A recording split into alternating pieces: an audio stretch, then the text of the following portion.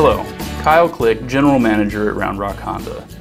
I wanted to let you know that because of the challenging times that we're experiencing, we've implemented procedures and processes to make sure that every experience here at Round Rock Honda is safe and enjoyable. It's the holiday season once again, but one that we'll probably celebrate a little differently than years past. So we wanted to remind you to have a good Thanksgiving and please celebrate safely. Thank you.